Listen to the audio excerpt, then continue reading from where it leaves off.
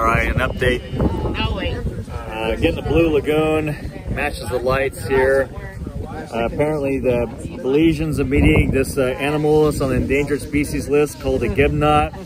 And um, Southwest Airlines has another 12,000 flights in the hole. Um, day five, we're surviving it. Uh, quick update, we lost the bartender. Apparently some paternity suit was just subpoenaed to him.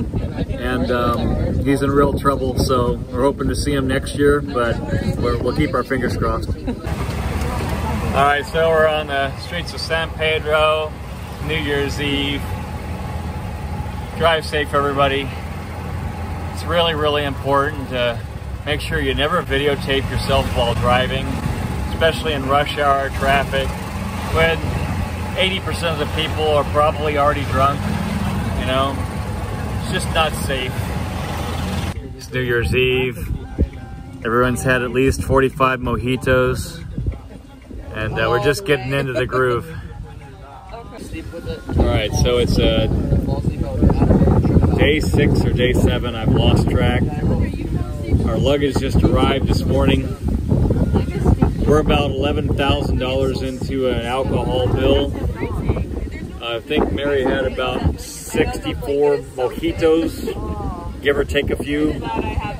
Um, but yeah, probably shouldn't come to Belize. You just become an alcoholic. It's, uh, it's not very good. Yeah.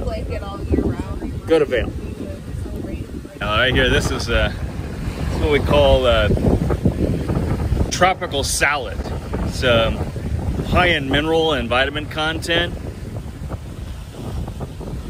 Tastes like shit, but it's good for you.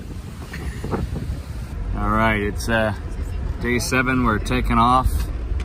Uh, we one of our crew had to go, uh, went home early and um, got some projectile vomit because of the um, the pothole contriculitis uh, outbreak that happened here. So pretty bad. I wouldn't recommend coming here and, unless you got a strong stomach. We're heading over to the airport again. Uh, some of our group uh, want to try out the uh, uh the naked uh, scuba diving. And it's going to be, they call it skinny diving.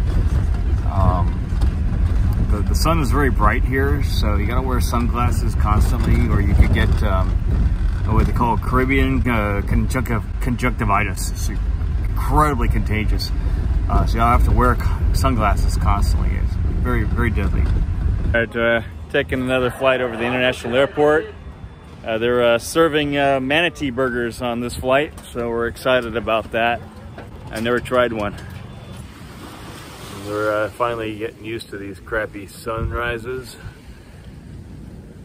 But, probably not the best sunrise in the world, but It'll do. On a serious note, at least it's not that bad. Could be better. Could have you here.